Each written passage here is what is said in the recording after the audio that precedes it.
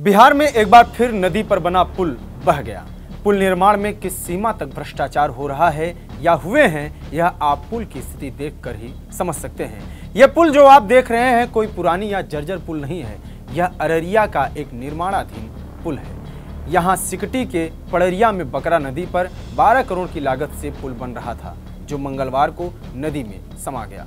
सोचिए, यह पुल अभी पूरा बना भी नहीं था और नदी में गिर गया। सालों से लोग इस पुल के बनने का इंतज़ार कर रहे थे। बनने के बाद यह पुल सिकटी और कुरसा काटा प्रखंड को जोड़ता, लेकिन पानी का तेज बहाव नहीं झेल सका। बकरा नदी पर पुल बन रहा उद्घाटन होना था। उसके पहले ही वो समाहित हो गया नदी में। अब इससे उम्मीद करिए कि संस्थागत भ्रष्टाचार किस रूप में फल और फूल रहा है बिहार के अंदर में। पूरे तौर पर आज नहीं, कई ऐसे पुल समा गए हैं नदी में, जिसके उदाहरण बिहार रहा है।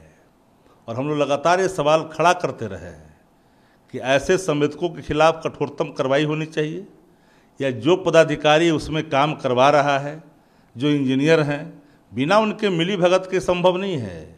और उनकी मिली भगत का ही परिणति है कि क्वालिटी से समझौता होता है। सत्रह महीने में लोगों ने काम किया तो लोगों को परेशानी बढ़ गई थी, चूँकि संस्थागत भ्रष्टाचार टूट रहा था। ख़त्म हो रहा था। बदले में चले गए। टेढ़ा कर कर के मुँह बोल रहे हैं। आज तो पता ना होना चाहिए एक दिन में, एक साल में, डेढ़ साल का पुल नहीं बना हुआ है। ये पुल बनने में तो लगे होंगे तीन साल, चार साल। तो इसकी नींव रखी गई। जब से ही पुल की हालात जब ये है, जिसका बेसी खराब होगा, आने वाला कल में क्या होगा? ये सिर्फ़ अररिया का सवाल, सिक्टी का सवाल नहीं है। इस बार पूरे बिहार में कई ऐसे पुल हैं। एन एच आई की पुलें हैं। जो देखिएगा आने वाले कल में वह भी प्रवाह होगा। बिल्कुल एकदम कंप्रोमाइज किया जा रहा है क्वालिटी से। कोई सुनने वाला नहीं है। अगर संज्ञान देने के लिए ध्यान आकर्षित करिए तो उस पर भी संज्ञान नहीं ली जाती है। क्षेत्र के लोगों का कहना है कि स्थानीय बीजेपी विधायक विजय कुमार मंडल और सांसद प्रदीप कुमार सिंह ने इस पुल को बनाने के लिए बहुत कोशिश की थी। पहले जब यह पुल बना था तो बाढ़ की वजह से नदी का किनारा दूर चला गया था। जिसके बाद 12 करोड़ रुपए की लागत से नदी के किनारे तक पुल को बड़ा बनाने का काम शुरू हुआ। लेकिन विभाग के लोगों ने ध्यान नहीं दिया और ठेकेदार ने सही से काम नहीं किया। इस वजह से मंगलवार को पुल नदी में समा गया। ग्रामीणों का यह भी आरोप है कि पुल का चार पाया ठेकेदार और विभाग की लापरवाही के कारण बह गया। पुल जो टूटा है, ये विभाग का जो है लापरवाही और पदाधिकारी ये जो कंस्ट्रक्शन के जो मालिक हैं, उनके लापरवाही से ये पुल टूटा है, क्योंकि काम जो है वह जो मापदंड का होना चाहिए, वो मापदंड से काम नहीं हुआ, जिसके कारण ये पुल टूटा है, और हम प्रशासन से मांग करते हैं जो इस पर कड़ी से कड़ी कार्रवाई होनी चाहिए, और जो दोषी हैं, उसको जेल जाना चाहिए।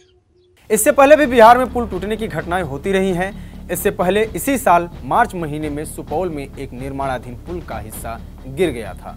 इसमें एक व्यक्ति की मौत भी हो गई थी। इसके अलावा नौ लोग घायल हुए थे। इस पुल का निर्माण कोशी नदी पर चल रहा था। पिछले साल जून में खगड़िया के अनुवागी गंगा घाट पर एक निर्माणाधीन पुल के तीन पिलर धस गए थे, जिसकी वजह से पुल का एक हिस्सा नदी में समा गया था। इस पुल की लागत 1700 करोड़ रुपए के करीब थी। इसकी जाँच के लिए सीएम नीतीश कुमार ने आदेश भी दिया था। पुल के डिज़ाइन पर भी सवाल उठे थे। और कई घटनाएँ हैं, जैसे फरवरी 2023 में पटना में भी एक पुल भ्रष्टाचार की भेंट चढ़ा था।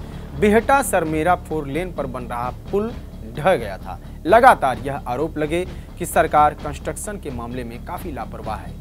वहीं इंजीनियर्स की भ्रष्ट कार्य प्रणाली भी सामने आती रही है, लेकिन इन सब के बावजूद हर बार कुछ ऐसा हो जाता है, जिससे स्पष्ट होता है कि पुल या ओवरब्रिज निर्माण के मामले में अभी भी बिहार सरकार काफ़ी पीछे है या लापरवाह है, और अधिकारियों की भ्रष्ट रवैया सामने आ ही रही है। इस मामले पर आपकी क्या राय है, कमेंट बॉक्स में बताएँ। बिहार जुड़ी तमाम खबरों के लिए बने रहिए टीवी नाइन बिहार झारखंड के साथ। नमस्कार।